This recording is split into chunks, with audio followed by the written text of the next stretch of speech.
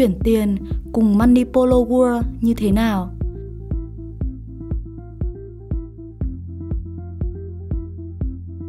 Chọn nơi bạn muốn chuyển tiền và loại tiền tệ.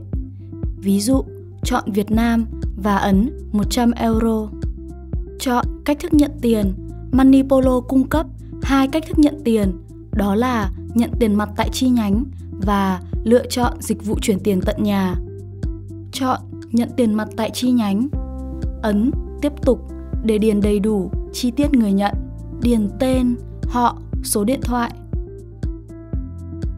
Kiểm tra chi tiết thanh toán và thanh toán chuyển khoản ngân hàng. Chuyển khoản của bạn đã được tạo